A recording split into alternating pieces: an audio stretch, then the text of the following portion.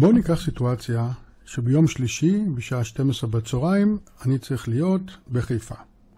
אז אני בא ליומן הפגישות שלי, הולך לשבוע הבא, יום שלישי, בשעה 12 בצהריים,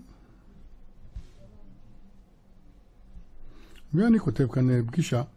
אז הכותרת זה לא משנה, נקרא לזה פגישה. והפואנטה, הפואנטה זה כאן למטה.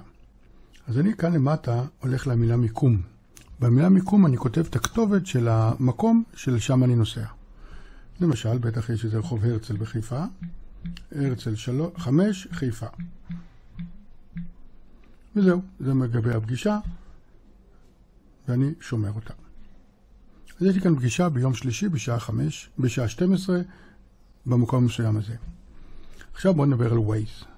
כשאני הולך ל-Waze, פעם אחת, תגדירו לכם, שאתם רוצים שהקישור ליומן הפגישות יבוצע, ואז אם עכשיו יהיה יום שלישי בשעה 11, בשעה 9, ואני נוסע, הוא רואה ביומן שיש לי פגישה בחיפה, אז קודם כל בואו נראה איך עושים זאת. הולך לחיפוש, הולך לגלגל השיניים פה למעלה, ואני אומר לו, במסגרת התראות, רגע, סליחה, טעות שלי, נסיעות מתוכננות. נסיעות מתוכננות. ואני מדבר איתכם על זה, האפשרות הזאת. סנכרן אירועי יומן. תוודאו שהאפשרות הזאת הינה אה, באמת פעילה, כמו שאצלי כאן, ואתם משתמשים בגוגל אה, יומן, ואז יבוצע כאן סנכרון ביניהם. כמו שאמרתי, שעתיים-שלוש לפני הפגישה, אם אתם יוצאים לדרך, דבר ראשון הוא ישאל, האם אתה נוסע לחיפה, לחוב אה, ביאליק 5? ואם כן, תיק, אתה רק עושה אישור וסע ואתה כבר שמה. לא להתעסק עם הכתיבה, וגם הוא מזכיר לכם בדיוק.